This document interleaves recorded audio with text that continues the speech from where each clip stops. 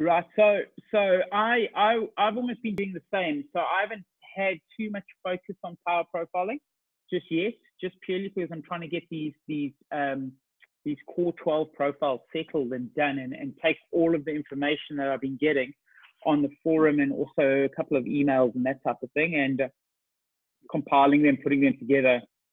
I'm trying to take as much information out as I possibly can. Um, uh, I had two questions yesterday that were that were quite quite cool um, and a little bit challenging. The one question was, you know, is there a difference between roasting the profiles at 100 grams or roasting the profiles at 120 grams uh, of coffee in the chamber? And the other question was, um, roasters around the world think about uh, first crack as a uh, as a development point in roasting, which we've discussed before, um, or the start of the development point in roasting, and should we be going um, hard and a bit aggressive into first crack, or should we be tapping off our temperature and effectively removing a little bit of the, the, the temperature, slowing it down a little bit before first crack, about a minute 20, a minute 30 before first crack. Um, do, does anyone have kind of questions on the second one, the second question about kind of first crack and and tapping it off, why are we're teeing up a lot of energy into first crack. Um, we, we kind of went through this in depth, I think it was two weeks ago or a week and a half ago, something like that. Um, are there any questions? Is anyone finding that that it, it's kind of weird and you look at your profiles and you think to yourself, why is Wayne doing this and why do these profiles work like this around first crack?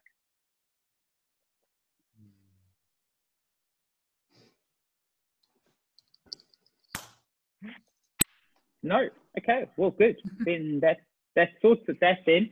Um, and then the second one was, you know, 100 grams versus 120 grams. And is there a reason why we did 100 grams, or is there a reason why we haven't done 120 grams, and do they work the same way? Um, out of everyone on the forum today, is anyone roasting the core profiles with 120 grams? Or are you all doing it at 100 grams or are there some of you that are trying kind of different grammage on it? I always roast 120 for everything i do. Okay. Yeah okay, i've perfect. done mostly 120 but a fair bit of 110 and some 100 okay perfect perfect Shaz, any comment from you? I mean, have you been doing 120 or you've been doing kind of 100? Um, I've just stick to 100. Um, okay. I noted that you you would also you did it, so I thought, oh, that's a good idea. I'll do the same. no, no, that's fine. That's fine. So, so, so there is a little bit of method in my madness. Um, the method in my madness is that. Um, so, so let me first state this. Um, to roast 120 and to roast 100, 100 grams or 120 grams um, on the core profiles, there shouldn't be any difference from a roasting perspective with that extra 20 grams in. Um, it is uh,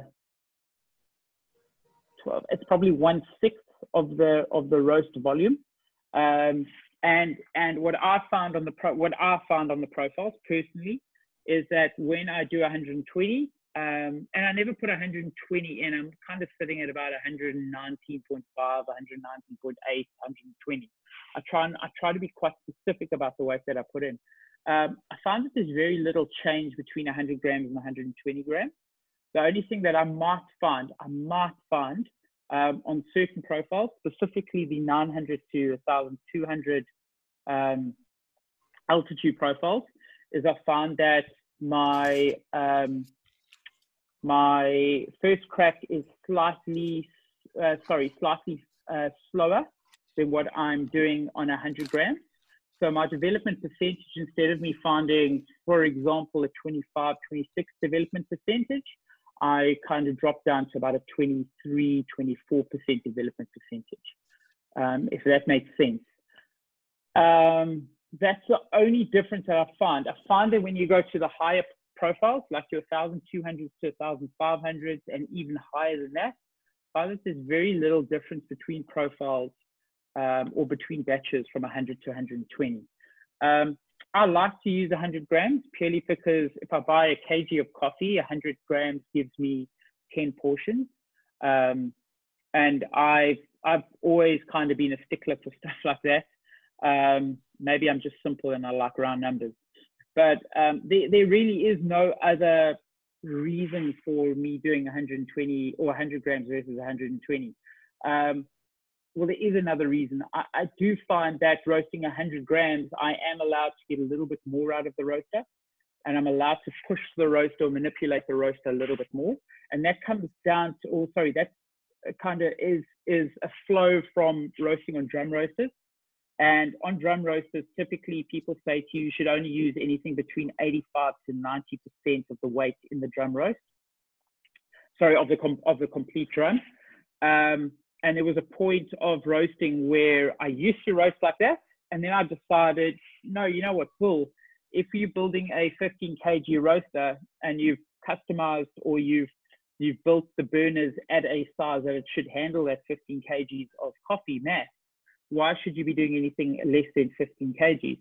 Um, so I experimented with that quite extensively, and I found that um, I found that you could roast 15 kgs in a 15 kg roaster quite comfortably, and you could get a really good result out of it. Um, so that's just a challenging theory that I've been challenging around that. Um, I like the fact that I can control. I like the fact that I can control the roaster better with 100 grams in it, even 110 grams in it. 120, absolutely perfect. But I really don't have much room to move with 120. You know, you pop the profile on and it just goes. Um, whereas I, I, like the room to move with 100. In that saying, I have roasted profiles at 100, uh, 100 grams and I have roasted profiles at 120 grams. And I find that there's maybe a 10 second to 20 second change uh, in the profile. And what, I, what you might have to do if you are roasting is you might, if you want to be really finicky about it, is you might have to go to the, the cornering or you might have to go to the boost and you might have to manipulate those slightly. Um, but that's really all you'll have to do. I did that with a, a Kaffelogic user yesterday um, with a decaf. They were roasting a decaf coffee, and his uh, the decaf profile that I put as one of the 12 core profiles. He then changed to a, another decaf origin, which was the uh, sugarcane decaf origin that uh, Coffee Workshop sells. And um, he now started using um, 120 grams of coffee and all that we did was simply all that we did was we just took one of his boosts and we just up, uh, we just decreased his boost by 10 seconds.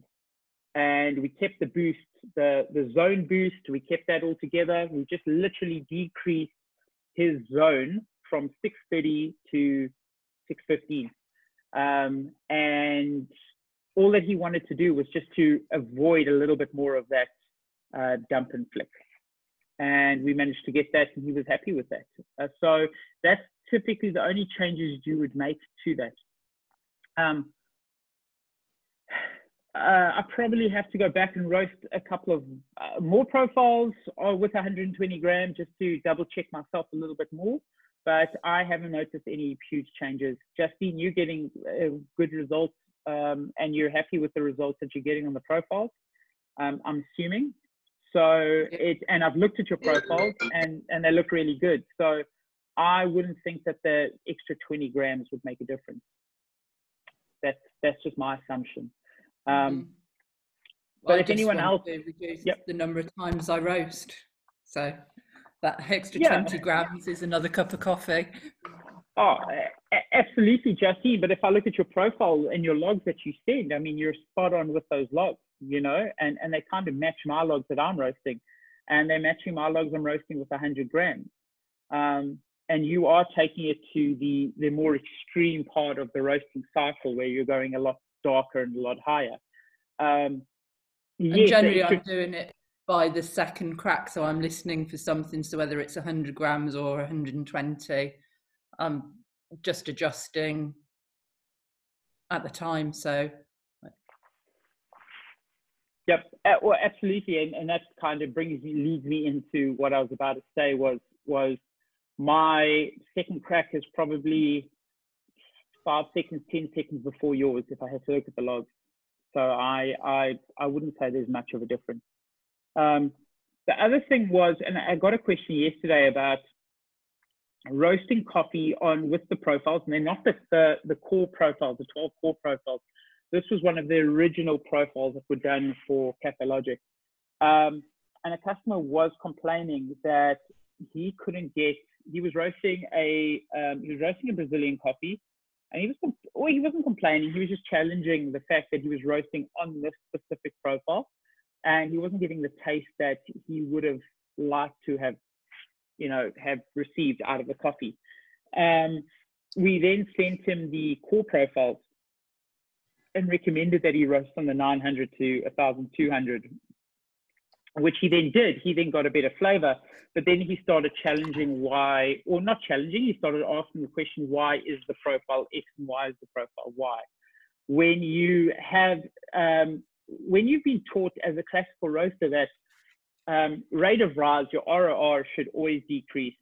You've been taught as a classical roaster to preheat your roaster or uh, pre-cycle your roaster for a period of 30 minutes to 40 minutes. And that's effectively just warming the entire thing up. It's like preheating your oven. Um, and effectively, when you get to first crack, typically you want to be uh, pulling that heat out of your, or sorry, you want to be removing a little bit of heat uh, going into first crack um, and that should give you a nice little exit out of first crack. It should, if you've got enough heat in the roaster in the beginning. Now, if you just follow the, the classic rules of roasting, with the Kaffelogic, unfortunately, some of those rules don't apply. And when they do apply, they're they're uh, they're a little bit they they work a little bit finicky um, within the roast. Um, so um, I just wanted to kind of stress with everyone that that roasting on the Kaffelogic, you, you've got to take yourself out of the you've got to take yourself out of the the standard drum roaster or the classical drum roaster way of roasting coffee purely because it's not a drum roaster. It is a, it is an air roaster. It's a fluid bed style roaster. Um, so the, the technical aspects of roasting just have to change slightly. It doesn't mean that we can't get a, a forever decreasing ROR and forever increasing um, volume of power coming in. So i.e. being flame, i.e. being gas, or in this case with Kaffelogic, electricity coming in, passing through the element. Um, it doesn't mean we can't get that. But when we find that we don't have a, or when we find that we're tasting a coffee and we want to get a little bit more out of that coffee, then we eh, we might have to challenge the the norm. We might have to challenge the status of normal drum roasting, and that might push us into a bit of an uncomfortable position. But if it does push us into a bit of an uncomfortable position, and we get the results, well then you know is that not roasting? Is that not what you should be doing? You know, Otherwise, what is the point of buying a item of equipment that you can manipulate and change along the way? So um, I don't know if anyone has any views on that or, or anyone can share something on that. Um, but uh, that does need to be explained to Kaffelogic users because often you would look at drum roasters and you would go, well, why isn't my coffee reacting the same way as it would react in a drum or react in a standard roaster? Well, the fact of the matter is, it's like comparing an apple and a peach. You know, they're both fruit and they both taste like fruit, and you can both use them in a fruit salad, but they're very, very different items.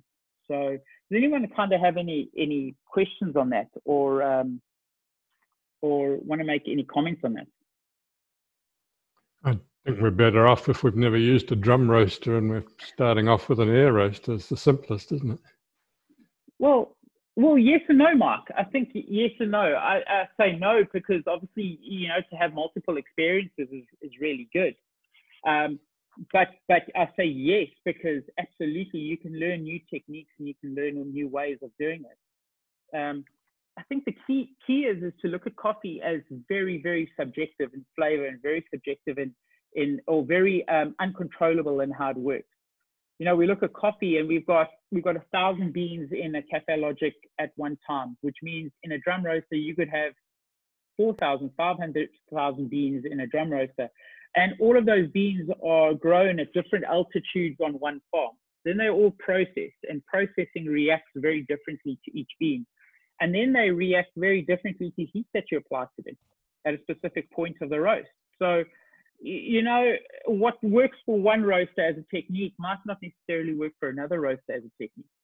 You know, um, I can tell you what Kaffelogic's done for me is it's taught me or or offered me the ability to rethink the way that I think or or re re-understand roasting and and re-engineer my own way of roasting. And it's taught me how to roast on a air roaster. And I've tried to in the beginning apply the traditional classic drum roaster technique to air roasting, and they just I just found they didn't work. Um, until I just opened up and started to explore these these things. Um, yeah. So so yes, I, I, I, believe Mike. It's both positive and negative. You know, um, I think the thing around it is, is we shouldn't be too hell bent on the fact that that we can't change and we can't develop and we can't learn.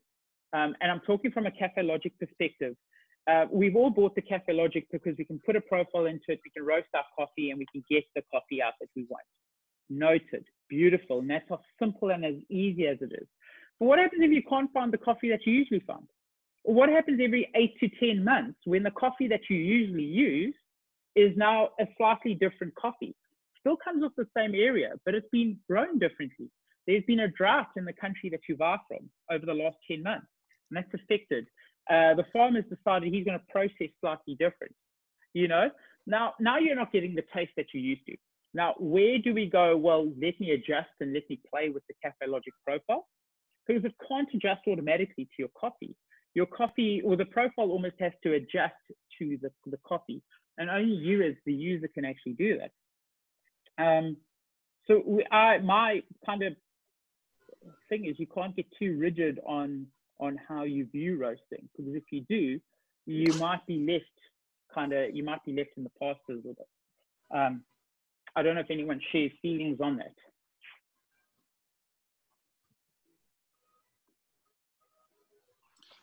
Sorry to be annoying. I just came in just as you uh, the end of that question. What are you? No, it's fine, Matt. We were just talking about you. Um, oh. so it's all good. No, Matt, I was just saying. You know what? We just just just the the question in summary was. Uh, I was just asking. I've had a couple of questions about um, and, and, honestly, I've had a couple of questions on forums about um, why why is the why is rate of rise not decreasing 110 percent, um, like we read up in in manuals and like we read up in books, and um, why is our first crack why is the reaction going into our first crack not how it should be? It should be in inverted commas, like we read in uh, manuals and we read in books and we read on blogs. Um, and majority of the people that are writing books and writing manuals and and blogging are all traditional drum roasters. Um, and it's I, don't think we can compare the Kaffelogic being an air roaster to a drum roaster. I don't think we're giving uh, any of the roasting styles enough credit and enough justice by doing that so it was really um, asking the question does anyone kind of have want to share any opinion on that? Or um, or you know we're just very fortunate like mark says that we we've started roasting without ever roasting on a drum roaster and we're kind of learning a new way on how to roast. Mm. yeah. Something to think about i guess. Um, but yeah that, that was really that was really the gist and the question around it is is you know what are your expectations from a Kaffelogic? Is it to roast coffee exactly the same way as you would roast on a 15 kg uh, Probat roaster? Or is it to roast coffee a little bit oh, definitely a lot more different and and it can give you different qualities? We know that just from a taste perspective roasting on a drum roaster or roasting on a um, air roaster like the Kaffelogic the air roasting will always give you a cleaner mouthfeel and a cleaner taste coming through your coffee where a drum roaster will will almost be the opposite now that's both positive and negative but already if there's different tastes just just in coffee through the roasting process, well then we can't actually compare the two, if that makes sense. You know, we have to take them on their own merit. Mm-hmm. Yep. Yep. I don't know if everyone agrees with that or if anyone has any questions on that. Um, I hope you have some questions on that or, or if you agree with that. That's really just what's going through my mind at the moment. Yeah, I'd agree. I'd agree with that. I'd agree with that. I think um, the same with uh, contact roasters uh, are all all can produce different results, like large and small contact roasters, and different. I guess if they have different powers and capacities, would be different to each other. And I think the air roaster is definitely, you know, instinctively, I would think it's different as well. Um, I've done a lot of, like, as a food technologist, I've done like roasting of lots of different other foods, not um, not coffee, just cereals and um, vegetables and things like that. Um, so I, I guess I, I, I things a little bit differently, and I just look at it, look at the coffee as another food, just putting another food in the air roaster.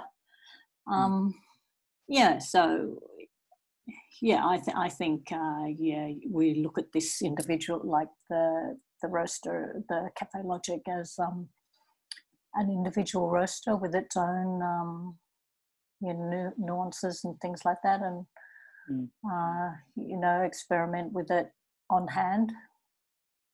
Sure. Yeah. Thanks, Shaz. I think I think the key behind it is, is that it's all about flavor, flavor, flavor. Chris and I would Correct. say that continuously is is is if the coffee tastes good, uh, let's is the coffee tasting perfect or is it tasting good?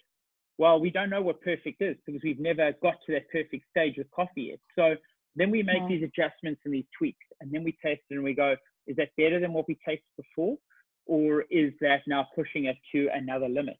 And then we yeah. will redo that, or we will then adjust even further and further.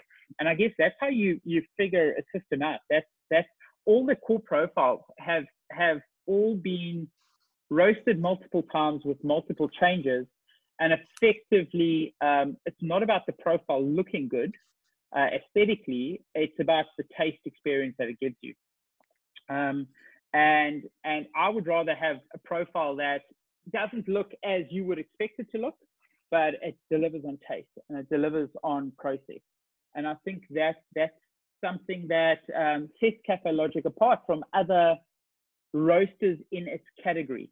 And when I say other roasters in its category, um, I'm talking about um, home style roasters that you have, like benchtop roasters that you have um, yeah. where it's all about the five points that you use and this graph that just effectively goes up. And you can only change those five points by two degrees each way and by 30 seconds up or down, you know?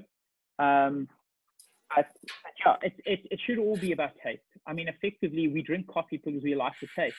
We don't drink coffee because we look at a profile and then go, oh, well, I'm going to struggle my way through these 12 cups, or these 20 cups, you know? Um, It should be based on taste, and that's just my take and my feeling on it. Um, and that's not because I'm yeah, any professional course. or anything in it. It's just it's just how I've always resonated with coffee. I mean, if it tastes good, you want to drink it.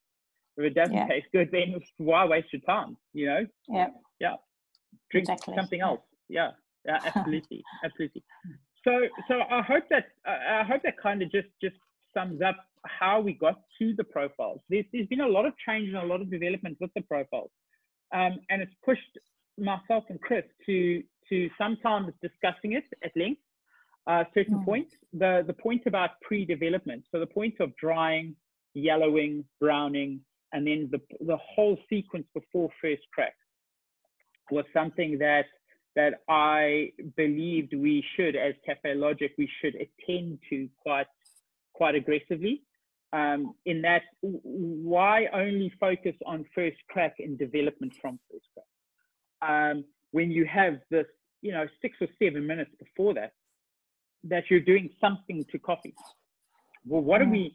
doing to coffee? Well we don't know what we're doing to coffee because we don't have you know we, we, we there's no way of telling it unless we taste it and we manipulate it. Um, so it's about that phase for me. What are we doing to coffee before we get to first crack? And then when we get to first crack, what is happening to our coffee from first crack to when we drop our coffee? So, i.e., development percentage because we actually have two forms of development percentage that we can take. We can take the development percentage from the coffee going green to yellow and then yellow to first crack. That can be a development percentage. And we can also have a development percentage, which we have now from first crack to drop. And the key is, is what are we doing in that first part? And how does that affect our changes over first crack? And, and what are we actually doing at first crack? Like what is what does a 20% coffee development mean? What and what does it taste like? What is a 21? What is a 22? What is a 23? Now that just means that you've got to roast a lot of coffee, you've got to taste a lot of coffee, and you've probably got to waste a lot of coffee. And um, I actually took a picture to share with you, Justine, probably about three weeks ago or so, when you asked me if I waste a lot of coffee. And I said, I'm ashamed to say that I do waste a little bit of coffee because I can't physically drink it all. Um, and it's got funky taste to it. So I can't essentially give it away. Otherwise, people will say, I never want you to give me any coffee, you know? But I, I guess you, you have to go through that process to understand what works and what doesn't work. Um, and then we bring a whole different coffee into roasting. Uh, Justine goes out and she buys this beautiful Guatemala that we none of us have ever roasted before, and now we're putting it through the same profile, and and we might have to make these little micro adjustments um, in order to get that profile to shine through, if that makes sense. Yeah. Yep. Um, so I've got, yep. I've got. Can I ask, probably maybe for the next Q and A day or another yep. time, would you be able to explain, um, like, put up the the ready to drink profile and the, you know, give it give it some time, you know, let it rest profile and sort of explain what about it yep.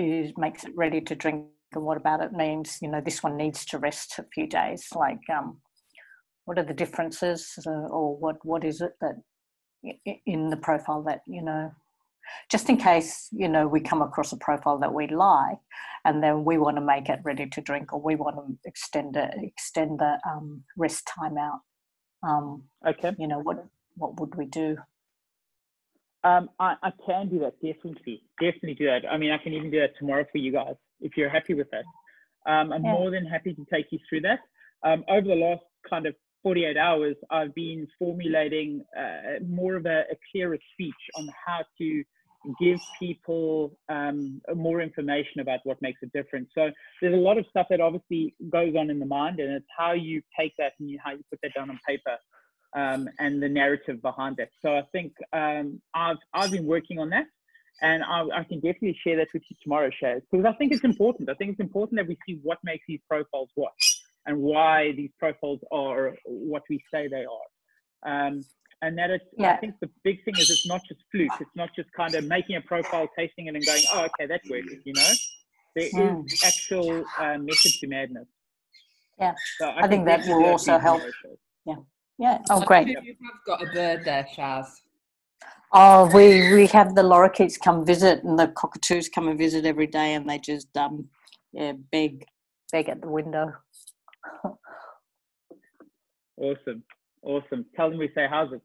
So so we've got kind of less than one minute to go, um, and that kind of covers everything for today. Unless someone has a question, I mean, we will be doing that tomorrow, Shaz, where we're explaining RTD and G and G triple T. Or good things take time.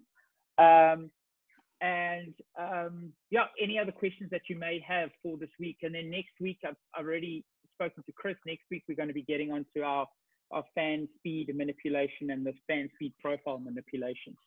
So we'll be addressing that in a lot of detail and a lot of depth next week.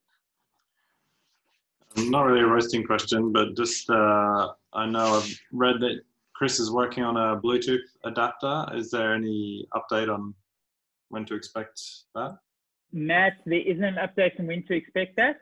Um, he is working on one, but he's working on multiple versions of it as well. So um, I can get you some form of um, information on it tomorrow and some time, um, some time kind of um, frequency. Um, but uh, let me let me do that tomorrow. Let me ask a question. I haven't had the discussion with him in the last couple of days about it. Sure. You're okay with that? yeah. yeah but it, it, it is going to change the game. Mm. Yeah. Yeah. Okay, I can get back to you on that tomorrow. Any other questions? Let me just write that down. Bluetooth. Awesome. Well, then we'll see you all tomorrow. Please come back. We will be discussing that, what, what Shaz has kind of put through, and we'll be discussing that and more. So I hope to see you guys all tomorrow. Okay, thanks. Thank bye. you. Cool. Thank you. Cheers, Bye. everyone. Bye. Cheers, cheers. Bye.